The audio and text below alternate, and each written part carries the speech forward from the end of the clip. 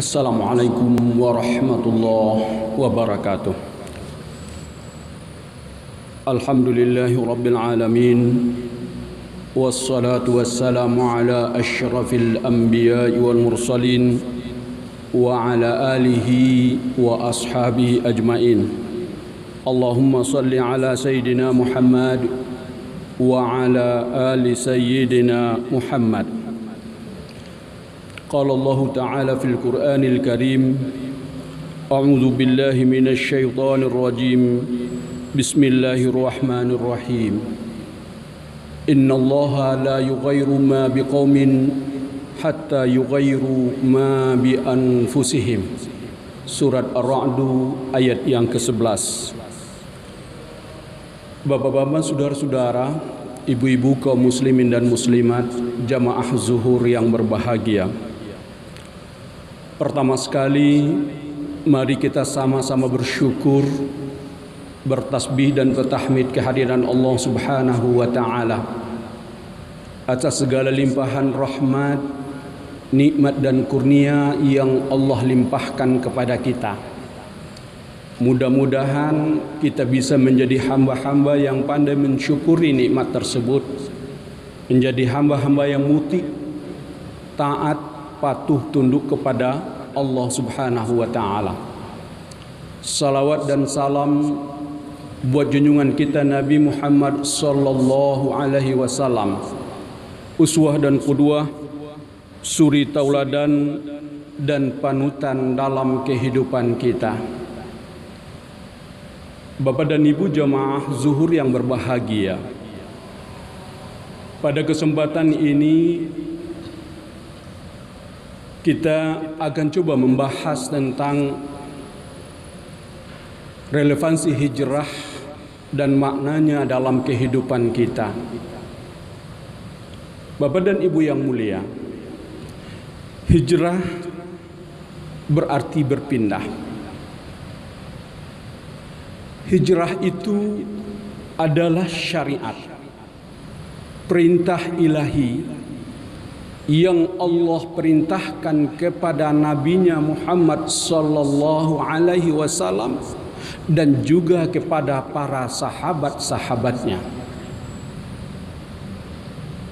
Maka hijrah itu bukan sebuah proses biasa berpindahnya Rasulullah dan sahabat-sahabat dari kota Makkah ke Yasrib atau Madinah sekarang. Tetapi peristiwa itu karena merupakan sebuah syariat perintah dari Allah kepada yang mulia nabinya Muhammad sallallahu alaihi wasallam dan kepada para sahabat sekalian maka sesungguhnya tentu hijrah itu tidak akan luput dari nilai-nilai dan makna-makna untuk sebuah kehidupan dan peradaban yang lebih baik lagi. Hijrah itu ditetapkan di masa Umar bin Khattab radhiyallahu anhu.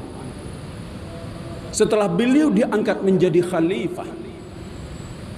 Dan apa yang menjadi landasan para sahabat ketika itu untuk menetapkan bahwa hijrah itu adalah awal dari tahun baru umat Islam, tahun baru Hijriah.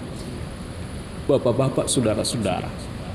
Ada Rasulullah wafat, ada Rasulullah lahir dan seterusnya. Ada peristiwa besar yang terjadi di dalam Islam yang Allah sebutkan dengan apa? Yaumul Furqan. Di hari Allah pisahkan, bedakan mana yang hak dan yang batil. Itu adalah perang Badar. Tetapi sahabat-sahabat Nabi bersepakat dan berkonsensus diawali tahun baru Hijriah penanggalan umat Islam itu dari apa? Dari hijrahnya Rasulullah sallallahu alaihi wasallam. Karena apa? Ini adalah lambang dan makna dari sebuah peradaban dan perubahan dalam kehidupan umat manusia. Ya. Hijrahnya Rasulullah, hijrahnya para sahabat bukan berarti sekedar berpindah dan melepaskan diri dari kekejaman kaum kafir Tidak. Tetapi dia lebih dari itu semuanya adalah apa? Melambangkan sebuah peradaban dan perubahan kehidupan dan tatanan kehidupan manusia di atas permukaan bumi ini. Bapak-bapak dan ibu-ibu jemaah zuhur yang berbahagia. Kalau demikian, maka hijrah itu adalah untuk melahirkan sebuah peradaban sebuah perubahan untuk kehidupan yang lebih baik lagi. Untuk melahirkan peradaban yang baik itu baik di mata manusia apalagi di mata Allah. Rasulullah meletakkan sendi-sendi yang perlu untuk dihayati dan dicermati oleh umat ini. Yang pertama, yang dilakukan oleh Rasulullah sallallahu alaihi wasallam ketika beliau baru sampai di Madinah dan itu baru di perkampungan Kuba belum di pertengahan pusat kota Madinah Rasulullah saat sampai di situ pada hari Senin ya hari Senin dan Rasulullah berada di tempat itu sampai hari Jumat pagi dan barulah hari Jumat pagi Rasulullah meninggalkan perkampungan Kuba. Hari Selasa, hari Rabu, hari Kamis, tiga hari Rasulullah berada di tengah-tengah perkampungan Kuba. Apa yang dikerjakan dan dilakukan oleh Rasulullah setelah perjalanan panjang dengan intimidasi dalam perjalanan tetapi tujuan intimidasinya itu yang diingatkan oleh Rasulullah. Tetapi Rasulullah letakkan sebuah untuk awal dari sebuah peradaban dan perubahan kehidupan umat manusia dan umat Islam secara khusus. Apa yang dilakukan oleh Rasulullah? Binaul masjid. Rasulullah membangun masjid yang terkenal dengan nama Masjid Kuba. Masjid Kuba itulah masjid yang pertama didirikan oleh Rasulullah. Bahkan Rasulullah juga setelah pindah ke Madinah di Masjid Nabawi sekarang itu Rasulullah sekali seminggu tetap berkunjung ke Masjid Kuba itu. Masyian aurakiban. Kadang Rasulullah naik kendaraan dan kadang Rasulullah berjalan kaki ke sana. Sampai di Madinah apa yang dibangun oleh Rasulullah juga masjid yang kita sebut sekarang dengan Masjid Nabawi. Bapak-bapak, saudara-saudara. Maka artinya masjid itu adalah sumber kehidupan kita, sumber kehidupan umat ini. Masjid itu sumber peradaban, sumber kebaikan di tengah-tengah kehidupan umat secara keseluruhan masjid keberadaannya untuk melahirkan kebaikan-kebaikan dan mendatangkan kebaikan-kebaikan yang banyak. Kondisi yang dihadapi oleh Rasulullah saat sampai di Madinah, Bapak dan Ibu belum pernah Rasulullah menginjakkan kaki di sana. Seperti apa dan bagaimana? Ya, Rasulullah sudah tahu dengan keadaan orang Madinah sudah ada ilmunya tentang Madinah. Tetapi yang perlu diingatkan, bila umat ini membangun sebuah peradaban, sebuah perubahan, kontribusi positif di tengah-tengah kehidupan, jangan lupakan rumah Allah. Jangan jauh dari rumah Allah. Bangun dan jaga rumah Allah itu. Karena dengan rumah Allah inilah yang akan menjaga hati-hati kita. Menjaga kalbu kita menjadi kalbun salim. Kalbu yang suci, bersih. Fihi rijalun yuhibbuna an yatatahharu. Wallahu yuhibbul mutahhirin. Kata Allah memuji tentang Masjid Kuba. Di masjid itu ada orang-orang yang senantiasa mensucikan dirinya. Wallahu yuhibbul mutahhirin. Allah angkat derajatnya dan Allah menyukai dan mencintai orang-orang yang mensucikan jiwanya itu. Nah, Bapak-bapak, maka peranan masjid di tengah-tengah kehidupan kita Ini yang harus kita perbaiki, yang harus kita tingkatkan. Masjid itu tidak hanya sekedar simbol tempat kita sholat, tetapi masjid itu adalah simbol sebuah tempat untuk melahirkan sebuah peradaban, sebuah perubahan, sebuah kebaikan dan kemajuan di tengah-tengah kehidupan umat ini. Maka orang yang menjadi pengurus masjid perlu berpikir dengan baik-baik. Apa peranan masjid itu? Apa dampak? Apa manfaat? Apa pengaruh positif yang diberikan oleh masjid di tengah-tengah kehidupan, di lingkungan, di masyarakatnya itu? Ya. Jangan sampai hanya masjid dan pengurusnya itu menjadi pengurus yang dia pikirkan adalah hanya satu pembangunan fisik semata. Tidak. Masjid itu harus melahirkan sebuah peradaban yang pertama. Untuk menjadi manusia-manusia yang bisa melahirkan sebuah peradaban itu Allah katakan. Salimus sadri. Bersih jiwanya bersih kolbunya dan senantiasa untuk membersihkan dirinya Fihi rijalun yuhibbuna ayyatatahharu. Di dalam masjid itu ada orang-orang yang senantiasa membersihkan, mensucikan dirinya. Masya Allah, bapak-bapak. Kalau negeri ini dipimpin oleh para penguasa, para tokoh-tokoh, para elit, tapi tidak pernah melangkahkan kakinya ke rumah Allah, sekalipun dia Muslim, dia tidak akan melahirkan sebuah peradaban yang baik. Dia tidak akan melahirkan sebuah perubahan. Tetapi Allah menginginkan itu. Dan Islam ini lahir untuk membawa apa? Rahmatan lil alamin. Sebuah peradaban itu. Yang membuat kesejahteraan, kedamaian, ketentraman bagi seluruh makhluk Allah di atas permukaan bumi ini. Makanya Rasulullah mengatakan, "Idza ra'aitumur rajula ya'tadul masjid fashhadu lahu bil iman." Kalau kalian melihat saudaramu selalu berada di rumah Allah, selalu pergi ke masjid, selalu pulang baliknya masjid, nggak pernah tinggal sholat berjamaahnya di masjid. Fashhadu lahu bil iman kata Rasulullah maka hendaklah kalian bersaksi dan mengatakan bahwa saudaramu itu siapa? Adalah seorang mukmin yang sejati, seorang yang beriman dengan iman yang hebat. Subhanallah, Bapak. Masjid itu akan melahirkan apa? Sudut pandang dahulu. Ukuran kehidupan kita apa? Iman bagi orang-orang yang beriman membangun dan menyamakan persepsi seperti ini ini yang terpenting di tengah-tengah kehidupan ini. Lahir orang-orang yang berada di rumah Allah yang selalu di masjid dan melihat Masya Allah ternyata ini orang yang soleh ahli iman, ahli ibadah yang tidak pernah tinggal sholat berjamaahnya di rumah Allah.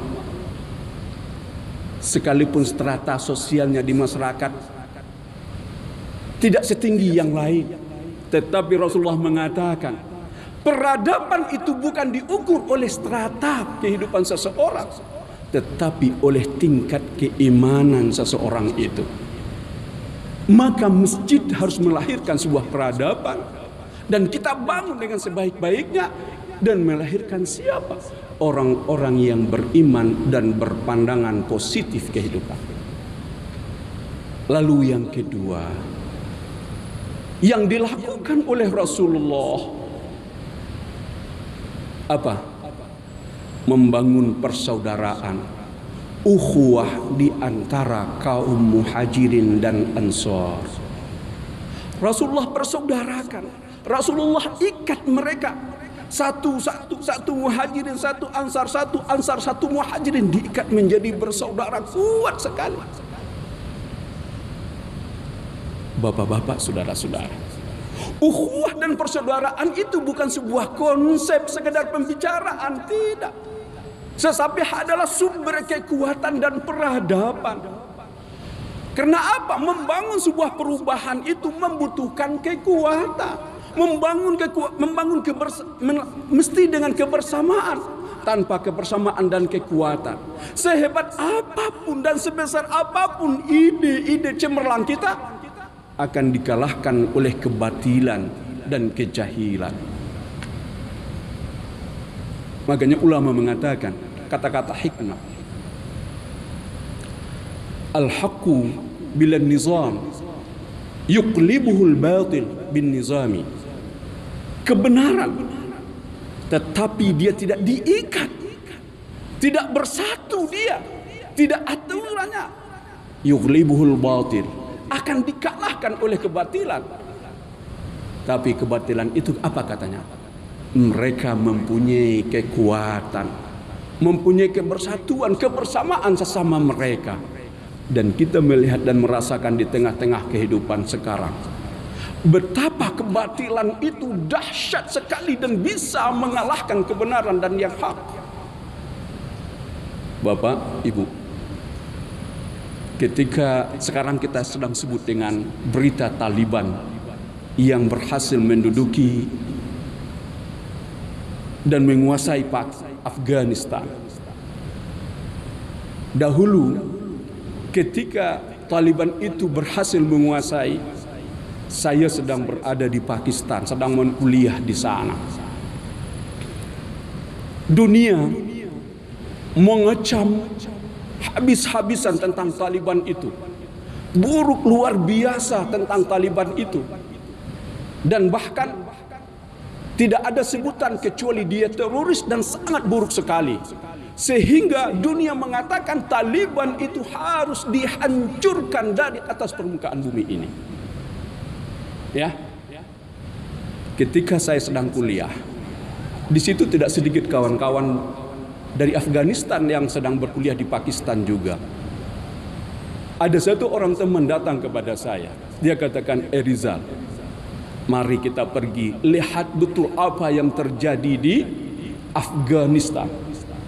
Dia tidak seburuk seperti yang ada di luar. Jangankan kita di sini, Bapak. Kami yang dekat bertetangga dengan negara itu juga sangat mencemaskan tentang Afghanistan itu. Saking dahsyatnya opini yang dibuat. Itulah kebatilan dia bisa mengalahkan kebenaran. Dia katakan, kalau sebelumnya memang Afghanistan itu hancur berantakan, Pak. Dia katakan, biasa orang-orang laki-laki itu penguasa datang ke rumah seorang ke rumah seseorang lalu mengambil dan membawa anak gadis orang. Dan berita itu berulang kembali dan tersebar sekarang ini di negeri kita dan saya lihat videonya. Jahat betul. Tapi itu bukan Taliban. Dia katakan, kalau dahulu orang takut bepergian, ada penyamun-penyamun di tengah jalan, keselamatan jiwa tidak terjamin. Tapi katanya lihatlah sekarang Erizal. Kalau pergi ke sana lihat betapa aman dan damainya negeri kami katanya. Kalau mobil itu rusak, tinggalkanlah di pesawangan jalan yang nggak ada orang. Besok baru ambil, nggak akan hilang itu katanya. Itu yang terjadi di sana. Tetapi kebatilan itu, maaf, dia putar balikkan faktanya. Ya, diputar balikkan faktanya. Maka Rasulullah Sallallahu Alaihi Wasallam mengingatkan dan menekankan yang tidak boleh dilupakan oleh umat ini adalah apa? Bangun terus persaudaraan ukhuwah di antara kita. Hindari dan jauhkan titik-titik yang membuat kita terpecah, bercerai-berai. Hindari itu sama sekali. Bahkan Allah mengingatkan dalam Al-Quran.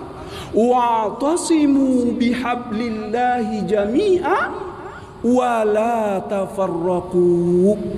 Surat Ali Imran. Berpegang teguhlah kalian semuanya dengan tali Allah. Yakni apa? Al-Quran dan hadis yakni dengan agama Allah wala tafarraqu dan jangan kamu membuat perceraian memisahkan satu sama lain. Allah katakan, cukupkah kita berpegang dengan Al-Quran dan hadis saja? Harus dan wajib. Tetapi diingatkan oleh Allah di akhir ayat itu, wala. Jangan kalian bercerai-berai. Sekarang orang begitu maaf ingin kembali kepada Al-Quran, ingin kembali kepada hadis, ikut kajian Al-Quran, ikut kajian hadis. Tetapi hidup kita menjadi berpecah belah. Ada yang salah di dalam memahami itu. Maka Allah ingatkan kita. Ada kunci yang perlu dibangun sebuah peradaban itu. Dan tidak mungkin kita mengalahkan kebatilan. Ya kemungkaran kecuali dengan kebersamaan dan kekuatan ukhuwah itu. Maka yang perlu kita bangun sekarang di tengah-tengah kehidupan ini, di samping kita harus kembali kepada Al-Quran, maknai Al-Quran dan hadis dengan benar, dan bangun dengan Al-Quran dan hadis itu ukhuwah Islamiyah yang tidak boleh melahirkan perpecahan dan bentokan, benturan antara umat ini. Ini yang dibangun oleh Rasulullah, bapak-bapak, saudara-saudara. Hijrah itu adalah konsep ilahi yang penuh dengan rahasia yang Allah tekankan, yang Allah perintahkan kepada Nabi, Allah perintahkan kepada Rasul dan para sahabat. Dia bukan sebuah peristiwa yang biasa saja, tidak. Dan hijrah itu bukan sebuah peristiwa larinya seorang pemimpin dari negerinya menyelamatkan dirinya, tidak. Hijrah itu adalah ketika Rasul, ketika sahabat, ketika umat tidak mampu lagi dan tidak bisa, tidak merdeka dalam melaksanakan ibadah dan agamanya di bawah penindasan penguasa yang zalim ketika itu di kota Mekah. Kezaliman itu akan ada. Maka Allah inginkan dan ingatkan apa? Agar semua umat ini hatinya terpaut dengan rumah Allah. Agar umat ini selalu menyatu bersatu dan membangun itu. Dan dia tidak akan lahir persatuan itu kecuali dengan iman yang hakiki. Innamal mu'minuna ikhwatu. Sesungguhnya hanyalah orang-orang yang benar-benar beriman dia akan bersaudara Bapak-bapak, saudara-saudara kaum muslimin, jemaah zuhur yang berbahagia. Mudah-mudahan dua hal ini menjadi renungan kita untuk membangun sebuah peradaban ke depan di tengah himpitan kehidupan yang tidak ringan kita rasakan saat sekarang ini. Bahkan negara pun tidak ringan untuk menghadapi kondisi yang ada. Tetapi satu hal yang perlu kita ingatkan, hijrah itu adalah semua orang berpikir positif untuk membuat dan melahirkan sebuah peradaban dan perubahan. Setiap orang ingin memberikan sumbangsihnya yang baik untuk Allah dan agamanya. Ya, jangan lupa hijrah itu adalah untuk memberikan sumbangsih kita meninggikan, membela, menjaga agama Allah ini dan selalu berpikiran positif, berbuat baik untuk kehidupan peradaban umat manusia. Umat ini bangun, bangkit untuk menyelamatkan kita dan menyelamatkan seluruh umat manusia.